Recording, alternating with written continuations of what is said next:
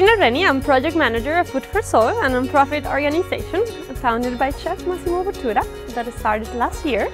So the Felix Project is a food waste charity that was set up last year by Justin Byam-Shaw to tackle the twin problems of the food waste and food poverty. A project we did in 2015 that it was called Refettorio Ambrosiano in Milan. So after that experience, that was our first refettorio that decided to found uh, an organization that could do these different projects with other communities in order to empower them and to help them fight food waste through social inclusion. I'm chairman of St Cuthbert's Centre, which is just behind you here. Uh, we're a drop-in centre and we provide care for the disabled, for the elderly, uh, for people with mental health problems and we endeavour to get them back into the community as soon as possible and our strapline is we care for the community and that's what we endeavour to do. It's a charity that is working here for 25 years. They do some counseling, they offer showers, laundry, and they have different activities that are about the community.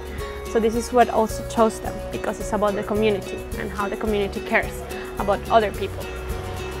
Every day our vans go to supermarkets to pick up surplus food that's fresh and would have got thrown away otherwise and take it to charities that feed people who can't afford to eat.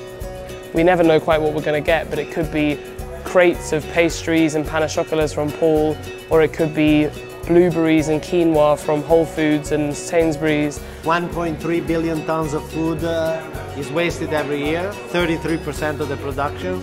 So the answer of Feed the Planet is very simple.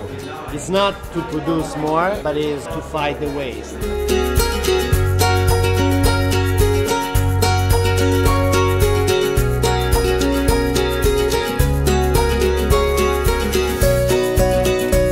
Well, Massimo approached the studio and when we looked at the Food for Soul project, it was just incredibly appealing because it's such a clear concept. The idea of bringing together supermarket surplus, good food, a warm and comfortable place for the homeless and good design is incredibly smart and one that we were definitely keen to be involved with. I told them, look, whatever it is that I can do, I want to be part of it because I think um, it's an incredible thing to do and, and, and people shouldn't starve. People shouldn't, you know, feel hunger these days. We've recently had a splendid refurbishment as a result of our partnership with Food for Soul. First and foremost, we wanted to make a place where people would feel comfortable and cared for. It was very old and uh, whilst we coped, uh, it is a much nicer and more enchanting, I think is the word centre now. It's just, the space is just such a lovely energy, it's really safe, it's really secure, um, it's got a lovely warmth to it. Massimo's brief was simply to make it beautiful.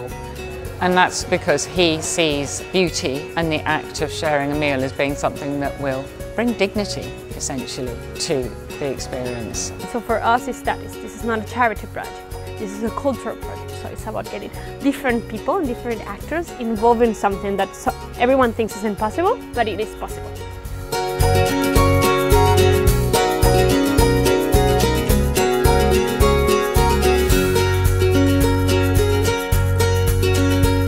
It's amazing watching these chefs cook with our surplus food because it teaches us quite how many different combinations of ways we can cook with this food. So one person might make some kind of extraordinary ragu and another person might turn it into a lasagna and someone else might turn it into a sorbet. You never know what someone might make with the food that you leave. It's a challenging thing to do, but I really enjoy it and I think it's something that we as chefs all need to get better at um, so that we can all support in minimising food waste. It's about how every one of them comes here in the morning, sees what we have in the kitchen, that is all food surplus, and has first the skill to transform that into a, a menu that is always different. Amazing experience. I mean, just the, the spirit of the team, the bonding, uh, people coming together and being able to talk to everyone that was coming in. Um, you know, it's when you're doing something positive at this level. I think I think overall it was it was a beautiful experience, and it all comes together in time, which is great. In the case of London, chefs have a lot of influence on them. You know, it's not only um, English food that we're having, but we're having so many different foods because London is that. It's a mix of cultures and you can see that also with the food. They see that the space is really now somewhere that's a home for them. I thought it was one of the most beautiful experiences I've, uh, I've witnessed. Uh, and I do a lot of charity work, but the, the, the first contact with, uh, with a human being and seeing someone eating a good meal, how important it is for, for our soul, I think uh, this project is beautiful. And uh, I, I'm really excited that I was part of it.